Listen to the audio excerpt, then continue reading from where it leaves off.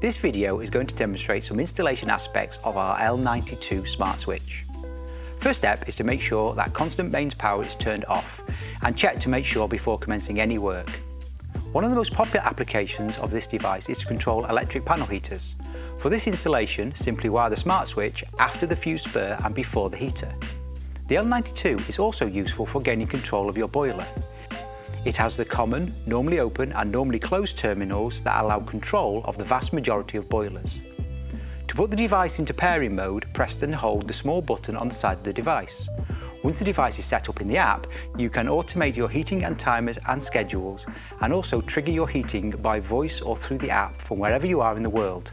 Similar to our relays, the L92 can be used in a wide variety of situations, so please consult the installation manual or our website or call our tech support team for more information.